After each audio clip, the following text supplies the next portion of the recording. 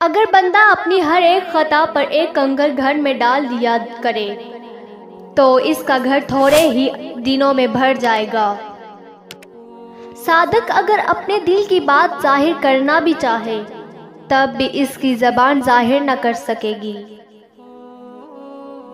नजात खामोशी तन्हाई और कम खाने में है।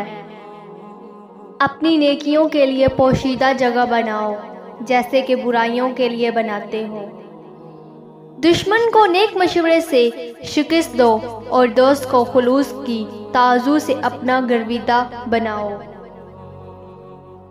अपने ज़ाहिर को लोगों की तरफ़ और अपने बातिन को खुदा की तरफ़ मतवजो